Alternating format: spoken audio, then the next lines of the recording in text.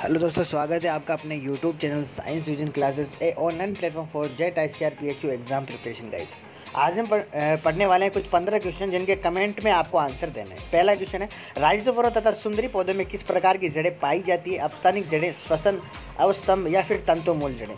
किस प्रकार की जो जड़ें हैं वो पाई जाती है वो बताना है। सेकंड ऑप्शन है, जो सेकंड क्वेश्चन है, वो है गाजर व चुकंदर में पौधों का प्रसारण होता है। तनों, जड़ों, पत्तियों व इनमें से कोई नहीं। आपको इसका आंसर है, वो कमेंट बॉक्स में देना है दोस्तों। श्वसन मूल मिलती है, जूसिया में, मक्का में, चेस्टा नट में या फिर पान में। किसमें मिलती है आपको बताना है और सभी के जो आंसर है, वो कमेंट बॉक्स में आपको देने हैं। ब्रायोफिल्म में पौधों का प्रसारण होता है, तनों, जड़ों, पत्तियों व इनमें से कोई नहीं। ठीक है, ये आपको बताना है, ठीक है?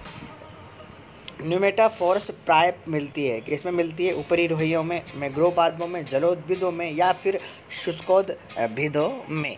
What is the right answer of question number five का दोस्तों, आपको इसका कमेंट में आंसर देना है। अगले प्रश्न की ओर पढ़ते हैं। डहेलिया की जड़ें होती है, स्तंभ, कंदिल, ग्रंथिल व परजीवी। ए बी सी व D what is the right answer दोस्तों, ये बताना है आपको।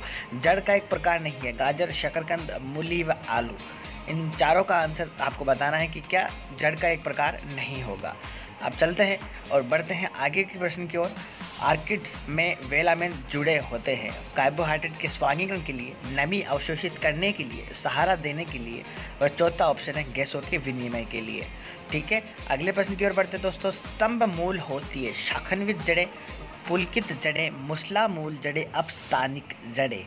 What is the right answer दोस्तों, आपको बताना है कमेंट बॉक्स में बरगद के पेड़ के तने से लटकने वाली मोटी जड़ें कहलाती है। वायवीय स्तंभ, आरोही या वालियता मूल। कौन सी मूल है वो बतानी है आपको?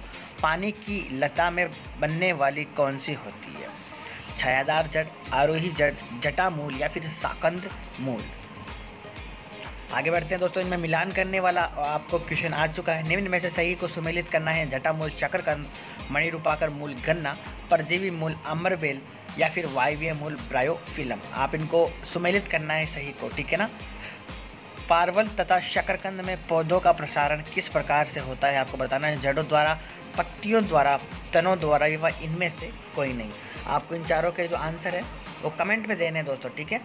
सुमेलित कीजिए, इसमें भी सुमेलित करना है आपको। इन चारों को, आर्किड ब्राइफिलम मक्का, डहेलिया को कंदी कंदिल, वायव्य पर्ण व जटामूल, इनसे आपको क्या करना है? सुमेलित करना है। नेक्स्ट चलते हैं। निम्न में से जड़ है, बतानी है। अजस्त त्वचा अनुपस्थित, वलकुट अनुपस्थित, रंध्र उपस्थित या उपत्वचा उपस्थित। ठीक है? ये इसका आंसर आपको कमेंट में देना है। पंद्रह क्वेश्चन आपको आज के दिए जाते हैं। ठीक है गाइज़ फटाफट से आपको आंसर ये कमेंट में देना है। अगर आपको हमारा यूट्यूब चैनल पसंद आए तो उसको लाइक शेयर सब्सक्राइब ज़रूर करिएगा। नए स्टूडेंट जो है वो भी कमेंट कर सकते हैं और जो देख रहे हैं उनको कमेंट करना ज़रूरी है। खैर, रही बात टेलीग्राम ग्रुप की तो लिंक डिस्क्रिप्शन में व्हाट्सअप के नंबर डिस्क्रिप्शन में आप हमारे साथ वहाँ पर जुड़ सकते हो। धन्यवाद। ऐसे ही सेशन आपके लिए लाते रहेंगे। थैंक यू सो मच जुड़े रहिए साइंस स्टूडेंट क्लासेस के साथ। आपकी प्रिपरेशन बहुत अच्छी होगी। All the best